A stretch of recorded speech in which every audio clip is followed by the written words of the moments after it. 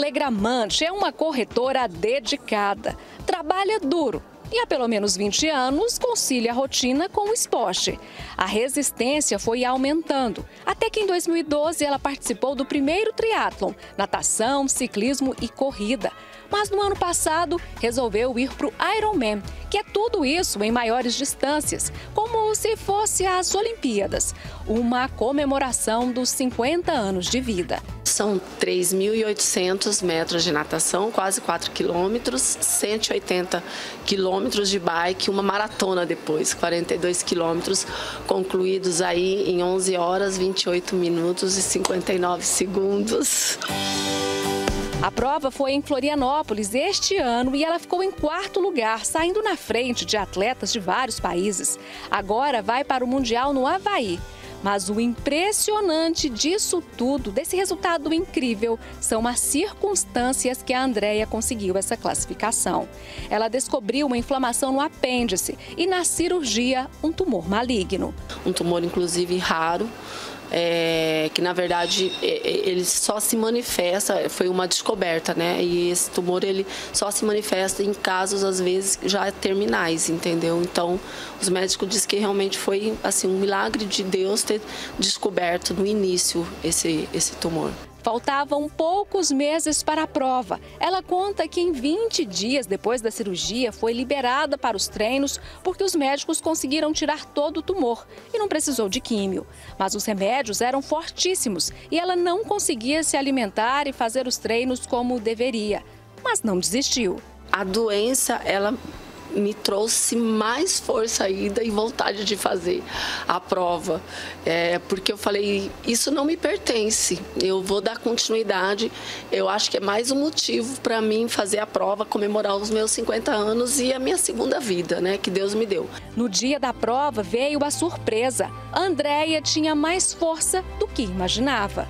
Fui para a prova não pensando em vaga para mundial, ao contrário, eu fui mesmo como é, é, é uma questão de comemorar a vida. E, e, eu achei que eu não ia nem dar conta de fazer, porque eu não consegui fazer os treinos que precisam ser feitos para esse tipo de prova. E chegou lá, Deus me presenteou com um resultado, com um pódio, com a vaga. Foi tudo muito lindo. História da Andrea é sem dúvida um grande exemplo de superação, mas inicialmente ela não queria contá-la. Tinha medo de que pessoas pensassem que ela poderia estar querendo se promover por causa da doença, até que a equipe da imobiliária onde ela trabalha conseguiu convencê-la de que mostrando esse caso, ela estaria inspirando muitas outras pessoas. Reconhecimento, parte dos gastos da viagem para o Mundial no Havaí está sendo custeado pela empresa e ela está fazendo uma rifa para pagar o restante. Participar da competição já é uma vitória, o fechamento de um capítulo e talvez o começo de outros para aqueles que, motivados por ela, vencerem o câncer e outras doenças. O Havaí agora vai ser mais mesmo para celebrar e fechar com chave de ouro esse esse ciclo aí que tem mais cinco anos aí de acompanhamento, né, é, médico, mas eu acho que é celebrar mesmo, comemorar essa vitória e essa superação. E inspirar outras pessoas. E inspirar outras pessoas. Eu acho que isso que é o mais importante. Eu acho que as pessoas têm que é, ter eu como exemplo de não desistir.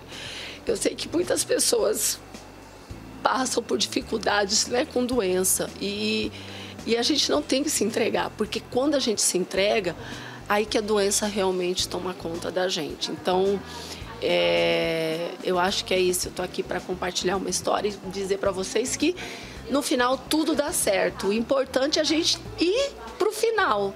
Porque se a gente desistir antes, a gente não sabe, né? Se vai dar certo ou não.